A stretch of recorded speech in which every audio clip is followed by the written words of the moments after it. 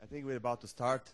Uh, it is my great pleasure to introduce our speaker for today, Dan Givoli, who is uh, a Lawrence and Marie Feldman Chair in, in Engineering at the Department of Aerospace Engineering at Technion Israel.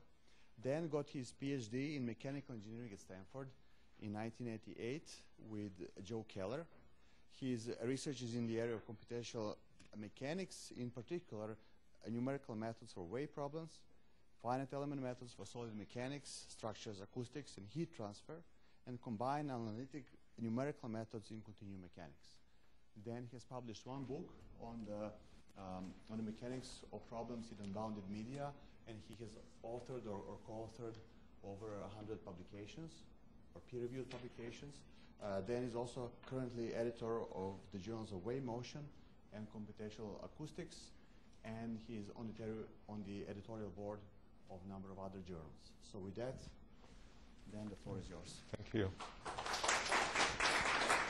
No, I don't need that. So thanks very much, and, and thanks for the uh, invitation to come here. It's a, a, great pleasure and honor to be in this uh, very unique uh, university and department. Um, so we'll wait for the screen to wake up. Will it wake up? You can just unplug it and reflag it. Okay.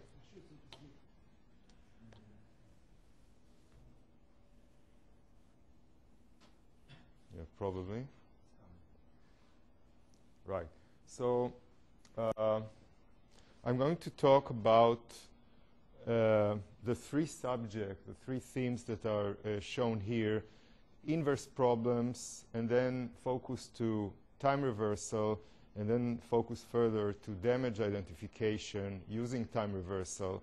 Um, my talk will not be very mathematical. I took care to, to talk to a, a wide audience. And, uh, and so those who like equations will be disappointed, but that's the deal. Um, this is a joint work uh, with Professor Eli Turkel from Tel Aviv University. His student uh, is Hak Levy, and my student Eyal Amit. So um, the first thing that I'll talk about in general terms is the, the class of problems called inverse problems, and I um, uh, assume many of you know about this, but I'll, I'll, I'll give a, a, short introduction. Then I'll talk about time reversal, and uh, time reversal as a method for solving some inverse problems.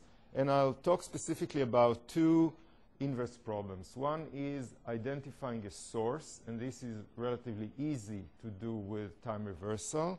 So I'll talk about the basics of that. And then the second problem, which is more uh, complicated, is uh, to identify damage or flaw in a structure. Uh, and, and I'll talk about that too, showing some numerical experiments. And talk about future work, which uh, which we're, um, part of it is ongoing. So what are inverse uh, problems? And I uh, particularly uh, interested in inverse wave problems, namely uh, problems that have to do with wave propagation. So in order to understand what inverse problems are about, let's talk about forward problems, which are the standard problems that we all know and love.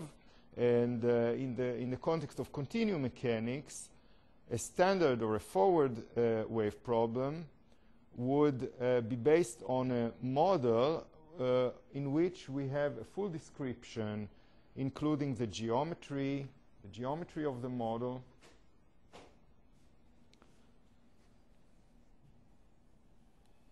the uh, material properties, which are mathematically usually the coefficients of the partial differential equation, the loads, which are uh, the right-hand side of the inhomogeneous part of the equation, boundary conditions, and initial conditions. All these are well defined and known in the forward problem. And what we're seeking is to find the wave field, namely displacement, stresses, pressures, velocity, what have you. Um, on the other hand, in inverse wave problems, some of these uh, uh, mo uh, model parameters are not known. So we are missing part of the, of, of, the, uh, of the description of the model. For example, we are missing part or all of the geometry. We are missing part or all of the material properties, the loads, the boundary conditions, the initial conditions. Something is missing from the model description. In order to compensate for this missing uh, data, we, uh, we have some measurements of the solution of the wave field at some points in space and or time. And these uh, measurements may be noisy. And then our goal is to complete the missing information from the model. So you see, it's, it's actually the, the, the opposite of the, uh, of the standard problem. That's why it's called uh, an inverse problem. Um, now I'll give a few examples for inver inverse wave problems that are of interest to large communities. The first example is what is called, or often called, the obstacle problem. So in the obstacle problem, you're given the general geometry, uh, material properties, and you're giving an, an incident wave field and the measured reflected wave field. And what you're looking for is the geometry of an obstacle or a scatter that is, is uh, somewhere in the domain, but you don't know where it is, you don't know what, what shape it has, and so on. Um, a particular example is that of identifying submarines, and this was, by the way, uh, a very hot uh, subject uh, during the 80s, 1980s, Although if, if, you, if you did some research on that, you were not allowed to say submarine. You called it a, a cigar-shaped object. Uh, another type of problem is uh, that of geophysical imaging. Also in the jargon of uh, geophysics, it's called migration. And this is uh, uh, where you're given the general geometry, a rough model of the material properties of the medium, wave sources, and measured signals at sensor locations. And what you're looking for is an image of the undersurface structure of the Earth, including things like interfaces uh, between uh, layers of material, faults, voids, uh, and so on. And this is a, a very a very heavy computation. It is, is it is uh, usually based on time reversal, which I'll talk about later. And uh, the, the usually they need uh, supercomputers for that. Um, another very important class of problem is that of uh, medical imaging. There are many ver various types of methods for medical imaging based on waves uh, you know, ultrasound is something very, very uh, common, but there are also various uh, versions of, of this with, with, various levels of sophistication. Here, uh, actually what you're seeking is to map the material properties and in particular things like distinguish between hard tissues and soft tissues uh, and uh, among other people, uh, Bojan has done a lot of work in uh, this, on this subject, not just during these years, but most recently using topological sensitivity as a tool for, for imaging. Um, another example is that of identifying sources, and this I'll, I'll talk about in more detail in a, in a minute using time reversal as a tool. Uh, here, actually, everything is given except the source, location, and intensity, and sometimes the dis distribution. So one obvious example is that of locating the epicenter of an earthquake. There is also uh, here an example of Lanbo Liu on um, locating acoustic sources in a city. A very nice uh, movie if, if, if, you go to his uh, webmail. using time reversal. Uh, NDT, uh, non-destructive testing, is another application of or uh, occurrence of inverse wave problems. Here, it's actually, you can think of it as a, as a special case of the obstacle problem because you want to, uh, to identify a scatterer. But whereas when we say the obstacle problem, we, we mainly think about unbounded domain with a, with a scatterer inside. And here we are uh, typically talking about a finite domain, a finite structure where you have a flaw, a crack, or what, what have you, and you want to identify it by, uh, by wave methods that are non-destructive. In the aerospace industry, of course, this is a, a very common uh, thing that they want to do. The last example that I'll give is that of identifying uh, parameters of a dynamical system. And let's look at the eigenvalue problem uh, shown here that, that emerges from the dynamical system here in, the, in this dynamical sister, uh, system, the, the mass uh, matrix was normalized. So, so you get uh, uh, uh, just two matrices that characterize the system, the, the damping matrix and the stiffness matrix. And this is the associated eigenvalue problem. Now, the standard problem is given the matrices C and K to find the spectrum of the system, uh, while the inverse eigenvalue problems is is given the spectrum uh, up to a certain uh, number of eigenvalues and eigenmodes, find the matrices C and K. This is uh, what mathemati ma mathematicians call to hear the shape of a drum. And it's a, it's a very uh, difficult problem. So, um, oh, let me, let me add that uh, inverse inverse problems uh, in general is, is a very hot subject that has been uh, attracting a lot of attention for years now. And in every single year, you can find three or four uh, conferences on this, on inverse problems alone. There are journals dedicated to it. And you can also see that inverse problems people are, have, a, have a good sense of humor. Um, inverse problems are notorious for being very difficult, much more difficult than standard or forward problems. Why is that? First of all, they're almost always strongly nonlinear. Second, they're almost always ill-posed. What does it mean that they're ill-posed? Well, let's talk about what is well-posedness. A problem is called well-posed if it has all these three characteristics. It has an, uh, an existence solution. It has a solution. The solution is unique, and the solution is stable, uh, which means that a small change in the data gives rise to a small change in the solution. Now, inverse wave problems can, can have uh, a, a, difficulty in either of, of these uh, categories, and sometimes even in all of them. First of all, the, the solution doesn't have to exist. If, for example, the data is noisy, someone, sometimes you will not find a solution that fits the, the data that you measure.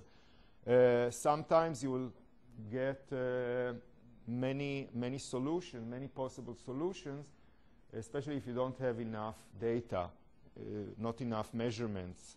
And uh, almost always uh, the uh, solutions are not stable, so a small change in the data will give rise to a large change in the solution. There are various ways to, to handle these difficulties.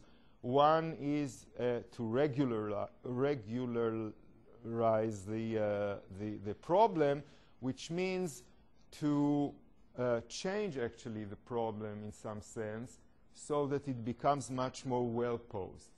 Uh, and then you can solve it and find a solution which is existent and so on and stable. The problem is, of course, that you change the ori original problem, so you're, you're not solving the actual problem that you want to solve. And, and good regularization is one that, uh, that does not change the problem a lot, yet gives you a well, a well-posed uh, problem. So uh, with that, I will uh, come to uh, talk about time reversal. And time reversal actually started not as a computational method at all. It started as a physical process. It was started by, by uh, the physicist Fink, Mathias Fink, who is a French guy. Um, and, uh, and as, as I said, it, it started as a physical process and uh, it is uh, employed as a physical process in various fields, uh, among other things in, in biomedical imaging. They're doing not just imaging, but medicine, and they're doing some fascinating things with, with time reversal on the physical level. Uh, and, the, and the basic principle of time reversal is that for a reversible medium, uh, the wave propagation phenomenon is reversible. Uh, so if, a medium is non-dissipative, you get reversibility in time, which means that you can run forward in time. You can predict the future, but you can also predict the past in the same manner. So that if you know the conditions today, you can run backwards in time and find out the, the, the, history of the evolution of the wave propagation. Of course, uh, this is a major assumption that the medium is non-dissipative. Now, in recent years, uh, it has been realized that time reversal can also be used not just as a physical process, but as a computational tool to solve some uh, inverse problems. And the most obvious uh, application is to find a source. So I have a source that started to propagate at a certain time. I measure the, uh, the response at, time, at some points in time and space. Then I have these measurements, I go backward in time, and my goal is to identify the source that started the, the whole thing.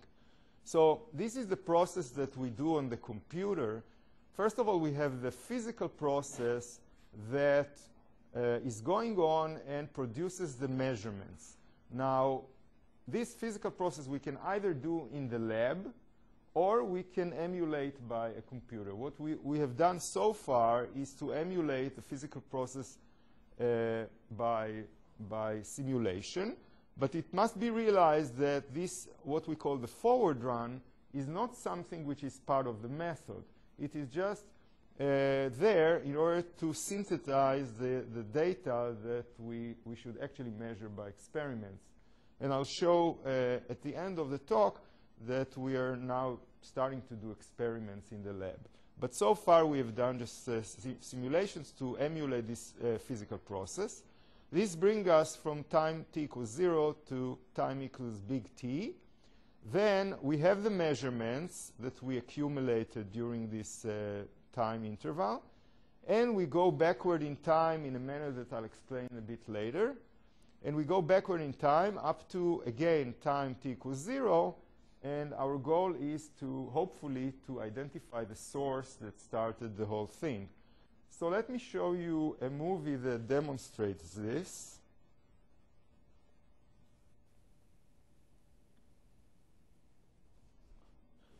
So this is a cavity. Uh, it's it's uh, like a two-dimensional uh, cavity that, uh, that has uh, Neumann boundary condition or traction-free boundary condition. This is the time. Uh, you saw that we started from a source. And these are six sensors that keep track of the, of the measurements. They, they measure uh, at every time step, they, they make a measurement and they, they store it. And we got to uh, the, the final time, 1,000, and then we, we go backwards in time. These six sensors now become the, uh, the actuators, and they radiate the waves backward in time. And you see what seems to be like a random uh, bunch of waves, but look what happens when we get to time, uh, uh, back to time equals zero. We actually produce very nicely the original uh, source. And this is only from six points. We measure the response at six points, nowhere else. And thi this is enough to, um, to reproduce the source.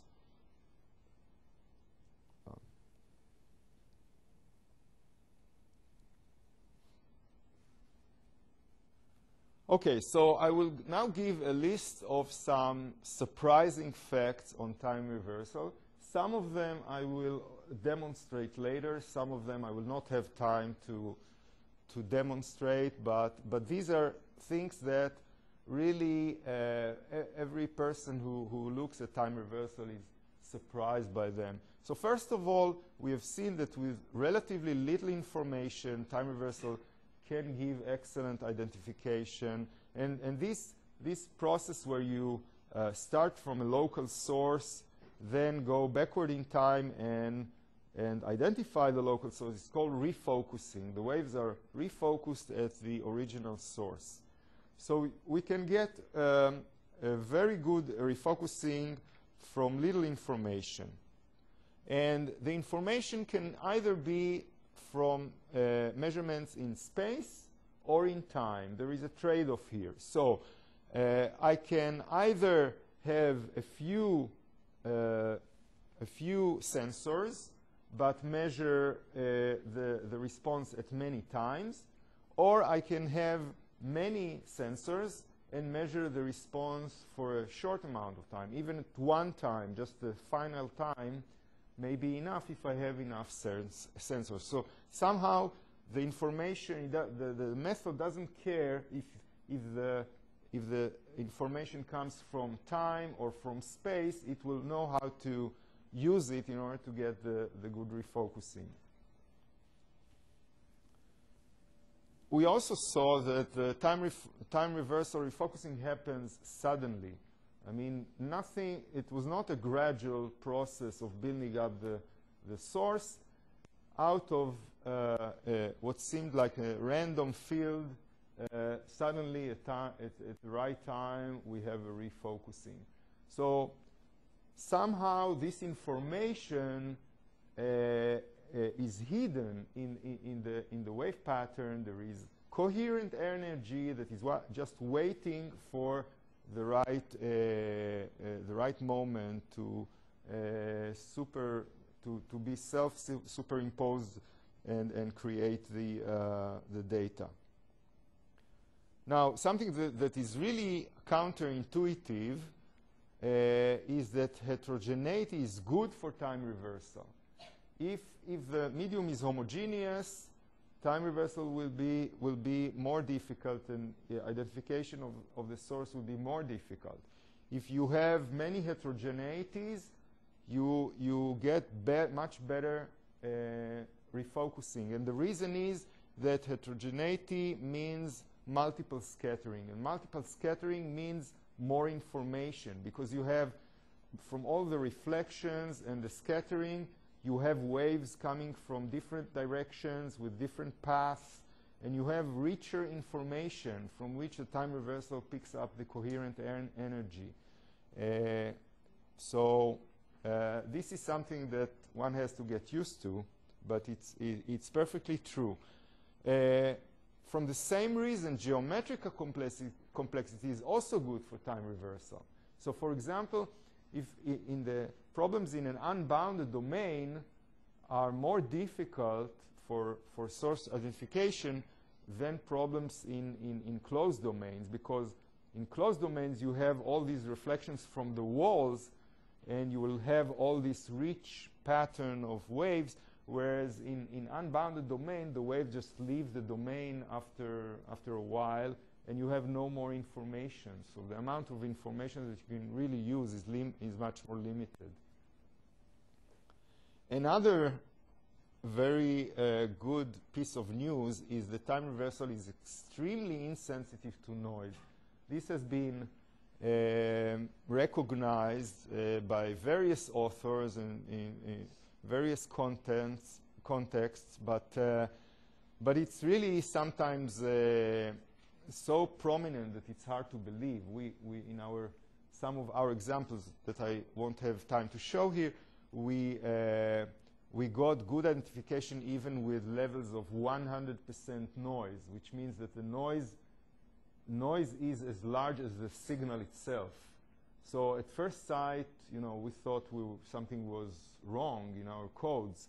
But it's actually, uh, if you think about it, what happens is that the, the noise is random. And this is an issue that I'll maybe mention later. But the, the noise is random, so it doesn't build up to any coherent information. Whereas the coherent information is, is not random and, and it's, it's uh, guaranteed to build up to, to, to, to show you the, the feature that you're looking for. And what is even more amazing is that sometimes noise is good for you. So, I'll, and I'll show an example where we get rid of multiple solutions by adding artificial noise. So you'll see that uh, later. Um, so uh, I'll talk a little bit about what, what, what stands behind the time reversal operation mathematically. So these are the uh, linear elasticity, elastodynamics equations. This is the forward problem. So this is actually an emulation of the, of the reality. Uh, so we have some boundary conditions and we have initial conditions, okay? And, we, and, and suppose that the initial conditions are what we call the source. So the initial conditions are localized in, in some uh, small domain. Now we look at the uh, transformation tau equals big T minus T. This is the time reversal transformation. So we go backward in time. Tau is the reverse time variable. And for tau, uh, we call the variable W. We get the same wave equation because the, the elastic wave equation is invariant to this transformation. We get the same boundary condition. And here we take as initial conditions the, uh, the solution of the forward problem at time uh, t equals big T uh, with a minus sign for the velocity because we want to go backward in time and this transformation gives us, for the time derivative, it gives us a minus sign. So what, what we've done here is to take the entire solution for every x, for every location at a single time, but we, we measure it everywhere. And we use it as an initial condition, and then we go, and this is the rever time reversal problem. And its solution, it's easy to see that its solution is just the time reversed solution of the original problem. And in particular, if we take t equals big T, we are supposed to reproduce exactly the uh, source that we started with. So indeed, this is not surprising. Uh, so if we start with, with this source, we have a crack, but for the time being, we are not, the crack is just uh, something that we're supposed to know. Uh, but this is the, the, the, source. After time, big T, we get this picture. We take all of it as the initial condition. We go backward in time. And of course, we reproduced exactly the, uh, the sources we started with. This is this is what is called ideal time reversal. But we never measure the response everywhere, right? So the more practical problem is that we have a small measurement manifold, omega m, and only there we can measure the, uh, the response of the forward problem. So the inverse problem, the time reversal problem, is uh, one in which we start from this data, but we take all the other, everything else is unknown to us, so we just take it to be zero. We just don't have information, so we take it to be zero, which mathematically is written in this way. So the, this uh, data is uh, multiplied by the characteristic function uh, chi m, which corresponds to this domain. Uh, and then we get, uh, at time t equals big T, we get this this signal, which is supposed to be an approximation for the true source. And indeed, we get, so you see, we go forward in time. We measure only on the, on the right boundary in this case. We go backward in time. and indeed we, we managed to identify the true source.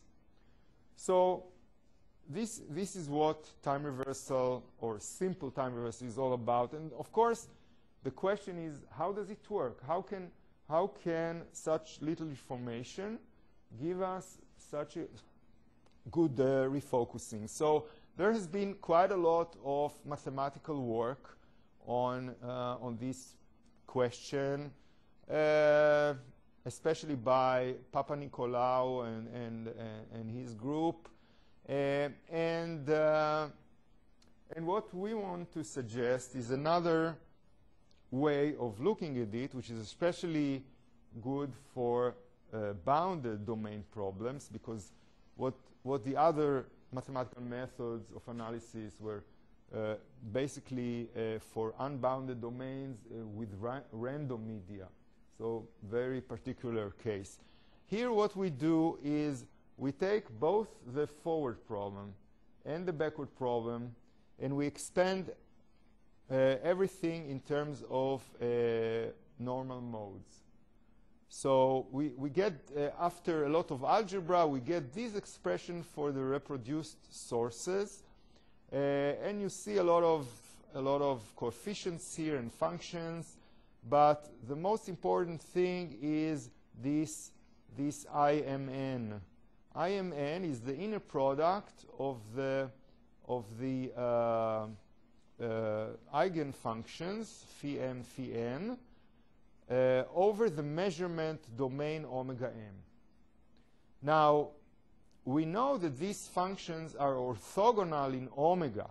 Omega is the entire domain. So if this was omega, we will get here the, the Kronecker delta, and what would happen is that uh, we can show that if this happens and IMN is the Kronecker delta, then we actually reproduced exactly the, the, the original uh, source. But with partial information, we don't have uh, integral over omega, we have integral over the measurement domain omega m.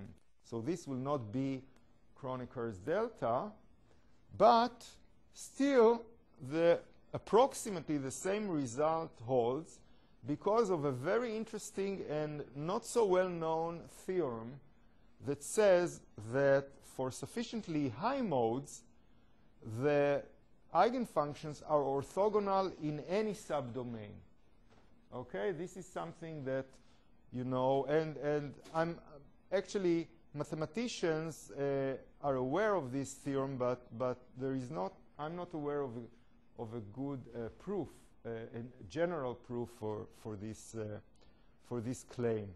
But the thing is that if you have, uh, if you look at the high modes, then whatever subdomain you consider, the, uh, the, the, the, the, eigenfunctions are going to be approximately orthogonal in this subdomain.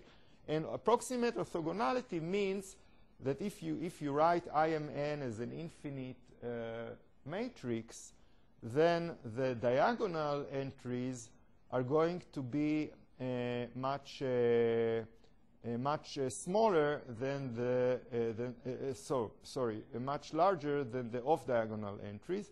This can, for example, be demonstrated in one dimension, where you, you take the inner product of two functions like the wave functions like that, where km is the wave number, and you see that if m equals to n, this uh, integral is uh, of order L, order 1, whereas if uh, n is different than m, then the, this integral gives you an order of 1 over the wave number kn, and for, high, for the high modes, this is a, uh, this is a small, uh, this is a, a, a, small number. So the, this actually means uh, what happens is that the the, the low modes don't play a role here too much. They're kind of, they give us more noise. But the high modes are going to be approximately orthogonal. That's why they're going to give us this refocusing information. um, I don't want to go into too much detail about how we uh, take into account multiple time measurements. There are various ways to do that, and we do it in our own way, which is we believe to be more efficient than, or more, more efficient, more accurate than other ways that have been proposed. It's basically based on superposing data on the fly. So we start, uh, this is the forward run, then we go backwards in time, and in each uh, time where we have measurements, we just superpose the measurements onto the solution. And af after we finish this process, we, we get all the data that we need. And we can prove that this, this works well. Um, a question that is, uh, that is uh, asked is, how much information do we need in order to get good identification of the source? And, uh, and by doing some calculation, we get this, uh, we get this formula, very simple, that shows the, the refocused, uh, refocused energy density is uh, uh, divided by the background energy density. We want this uh, ratio to be, to be large in order to get good refocusing. And uh, we get this is equal to 1 plus AM, which is the area, the measurement area or measure of the measurement. Uh, NT is the number of uh, measurement times, and AI is the size of the source, N is the amount of noise, uh, relative uh, noise in percents. And since we want this to be large, this, this gives us this requirement, which means that the amount of information that we need, which is measured by the area of the measurement domain times the number of measurement times, should be larger than, than this number. So, and, and this fits quite well to, to our numerical experiments.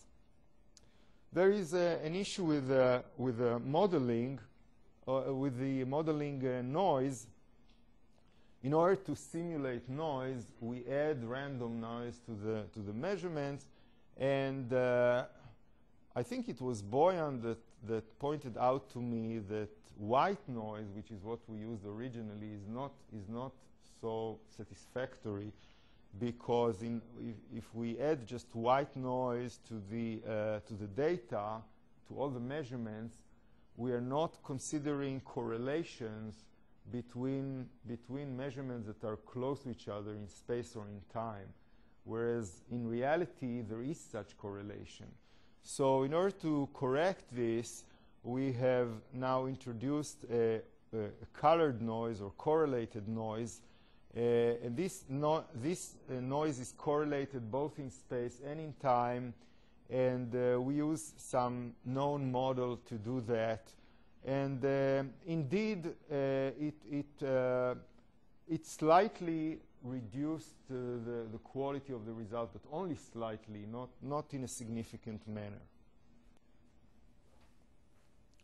Um, okay, uh, in order to, I mean, in reality, we don't know where the source was. So we don't know if we are successful in uh, identifying the sources or not. That's why we need something like a score that will give us uh, some idea on how well we, or to estimate how well we have done in identifying the source when we don't know where the source is.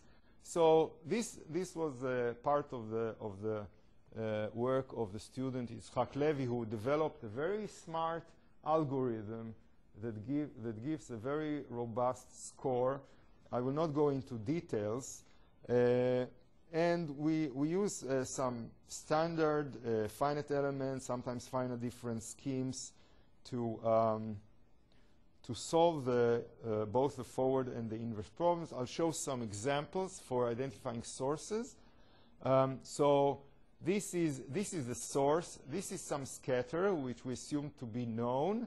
Um, this is traction-free, periodic boundary conditions, and Dirichlet, just uh, just uh, took, took them as uh, arbitrarily.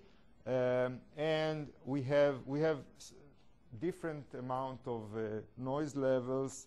we experiment with all this. I'll just show one, one particular example. So this is the, the true source.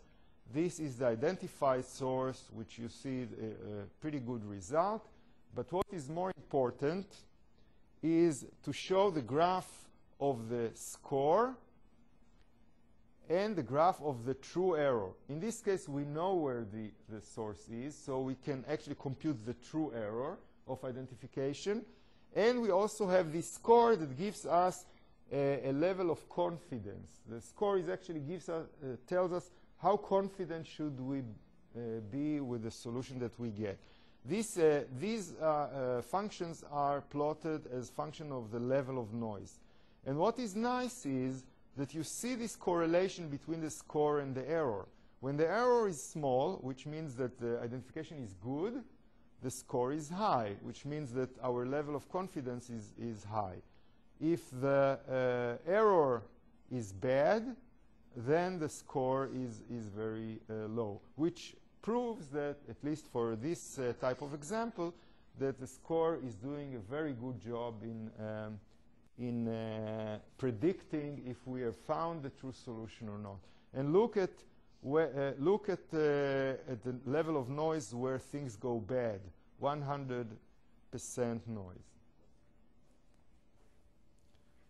Uh, the, the score is smart enough to identify two sources or, or more if there are any. So this is an example where these are the two uh, original sources these are the two identified sources. This result is somewhat less good than the, the first one, but still the identification is pretty good. Okay, now I'm going to talk about the maybe more interesting problem of flaw identification. And as I said, this is something that is very interesting, not just in the aerospace industry, which I, am close to, but also in, in, uh, in many other applications, uh, civil engineering and so on. And let me skip that. And uh, uh, the way we, we um, identify damage or, or flaws in structure is based on a minimization algorithm. It's, a, it's an optimization problem uh, where in each step of the optimization we use time reversal. So instead of reading what is written here, let me explain it by, by uh, these pictures. So suppose that we have a crack and we want to identify the crack. Um, we have a source here, and in this case, the source is known. We have put the source there, so we know where the source is, okay? So we let it propagate. Uh, again, this, is, this is emulates actually a physical process. We let the waves propagate up to a certain time, and we make our measurements. Then we have the measurements, and we have to find where the uh, uh, crack is. If we guess correctly where the crack is, time reversal will, will give us good refocusing uh, at, the at the original uh, location of the source. If we guessed wrong where the uh, crack is, we will not get the refocusing. So the idea is to uh, actually to pose this problem as an optimization problem. Uh, and the optimization problem is find the parameters of the damage that will give you the best refocusing at the known uh, source location. So uh, let me show you uh, a result uh, of, of, this, uh, of this type. So uh, now we have a, we, we, want to identify a, a, crack. We don't add any noise, and um, okay, and uh, and this this parameter is a parameter that tells us where the crack is. It doesn't matter exactly what the definition is, but the, these numbers actually tell us the location of the crack. Uh, and there are like 200 possibilities, okay, or more. Um, this is the score that we get. And you see that it's hard to see. I mean, this is a, actually a candidate to, to be the right location of the crack, but this is also a candidate, and who knows, maybe one of these is, is the correct one. So it, it cannot really tell us uh, which one is the, uh, uh, uh, the correct solution because we have many candidates. Now we add noise. We had 70% noise, and look what, look what happens. All the, uh, the spurious uh, solutions disappeared, and we have just one very prominent solution, and this is the correct uh, location. So this is an example where adding artificially uh, noise is, is good for us, which is kind of very strange, but, but, but this, is, uh, this works in this framework. Uh, so let me show you another movie of uh, identifying a crack.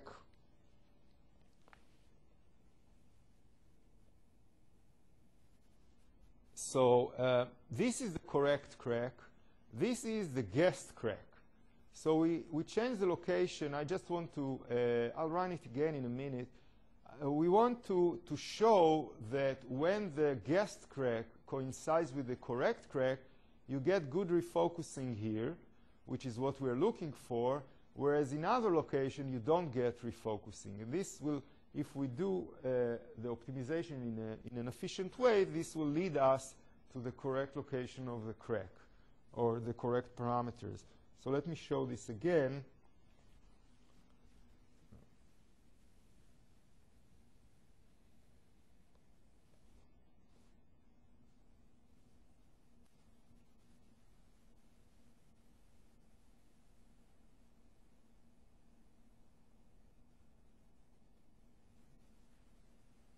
So, of course, um, you know, trying all the possibilities is very inefficient.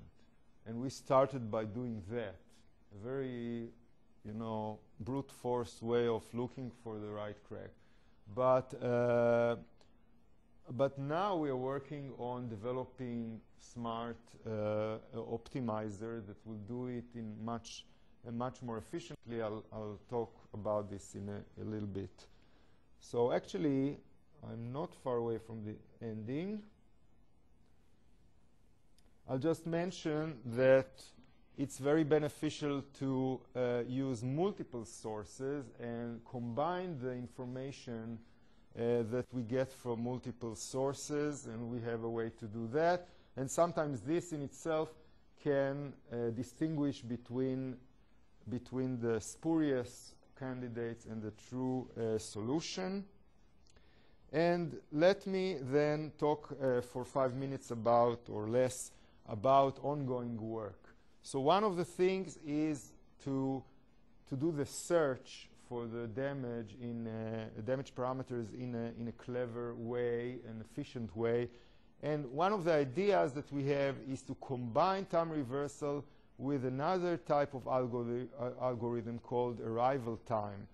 Uh, arrival time is, is a very simple imaging technique that uh, that works, uh, that is uh, kind of robust. It is very popular, but the problem is that it is crude. It gives you a, a very crude image, uh, and and sometimes it, it, gives you a large, you know a large uh, dark spot and, and, you cannot really know uh, the details. So, but we think that by combining time reversal with with arrival time, we can, we can actually uh, make time reversal much more efficient. I, I won't have time to go into details. Another thing is to use what is called a time reversal absorbing condition, TRAC, which is a method uh, developed by Assous, Nataf, uh, Turkel, and Kray. Uh, but we, uh, we um, but it is also uh, lacking some optimization schemes, so we, we're going to extend it and equip it with a, an efficient optimization scheme and, and make it work much more efficiently. And finally, we are doing some experimental work.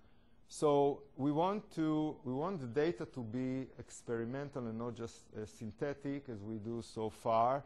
And uh, we are so we, we have this setup uh, for a, for a plane stress um, um, uh, experiment that we are then simulating also and try to, to find first uh, sources that are uh, activated there and then uh, in a later stage we will try to identify damage. Uh, we use uh, optical equipment in order to uh, to, to to do this sensing, um, and I think that with that I will close. I will just keep this slide on. So thanks a lot for your attention.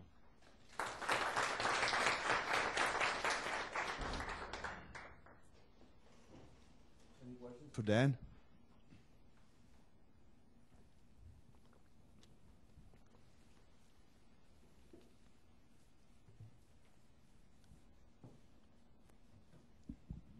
Uh, thank you for your talk and your nice explanation. Uh, I had a question about the noise aspect um, because that's kind of counterintuitive. So, uh, in terms of what kind of noise you're adding, and also what is the original magnitude of your signal? Like, does the original amplitude of the signal have any impact on what you're measuring? Because you could have a really noisy signal that has almost all noise. So. Yeah. Um, so so the thing is uh, this. First of all, the point with the, with the kind of noise, okay? Um, suppose you're measuring at, uh, suppose you're measuring at two, two points in time that just uh, to each other. It doesn't, and, and, there is some noise in the first one. Is it doesn't make sense that the noise at the second one, which is very close, will be completely unrelated. So that was Bojan's, I think, comment a while ago.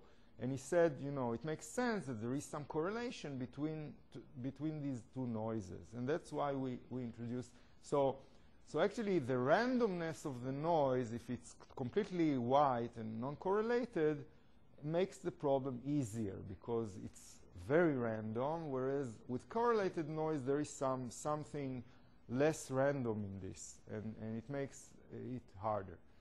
Um, now, it's true that the, I mean, even without noise, you have a lot of noise because the noise comes from the lack of information. You see, we take zero data in places where we don't have data, and this in itself gives us a lot of noise. So it's true, adding, adding noise to the measurement is actually not doing much uh, except to add, to add some, some additional noise, but it's all noise. And now, the, the, because the, the problem is linear, it's not so important the absolute you know, value of the, of the amplitude. What is important is the, actually the noise to, to signal ratio. And what happens is that we are, we are in this, in our method, we are superimposing a lot of information. For example, in different times. We take all the information from all the times and we add them all together. Now, when we do that, the noise is not added up because the noise ra is random. So if you take, uh, you know, 100 times random noise, you get the same amount of random noise. You don't uh, multiply it by, by, by 100. On the other hand, the coherent information, the true information, is multiplied by 100. So that's the trick. The trick is to have enough information so that you build up so all the random noise remains random, but the, uh, but, but, but, the true information is built up in a systematic way and, give, and gives you the true feature.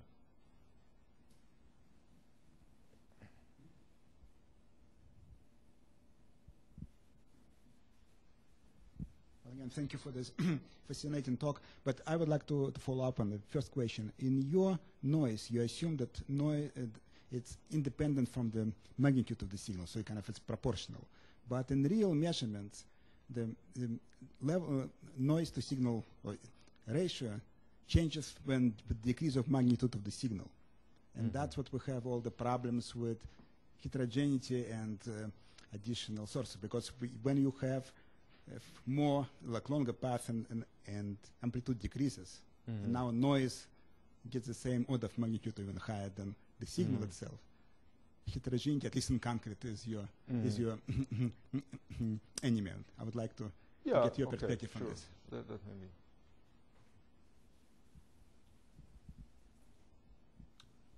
Very nice talk. Um, maybe it's a naive question.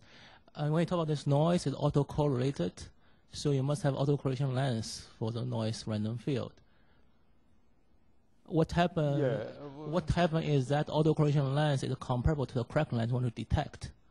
Then the effect on that. Uh,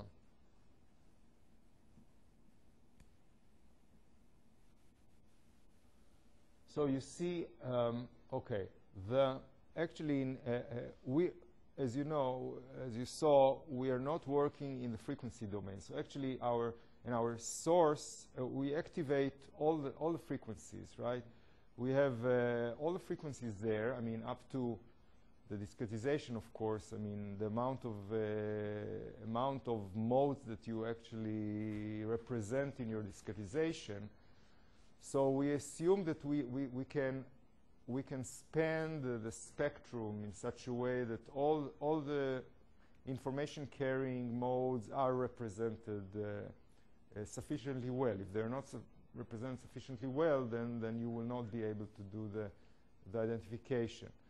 Um, so I think in this sense, the, um, the length scale uh, introduced by the, by the noise parameters, uh, uh, I'm not sure, but it's, I, I mean, I, I haven't checked this actually, but, but my feeling is that it will not uh, be problematic, even if it's on the scale of the, uh, of the, of the wavelength. Yes, I mean of, of the of the crack of the crack length.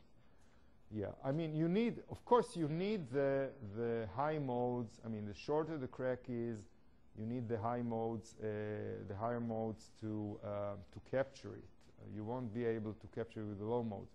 But but actually, you know, time people that- have done time reversal in the past have almost always worked with point-like defects point-like defects uh, uh, work better in, in the standard method.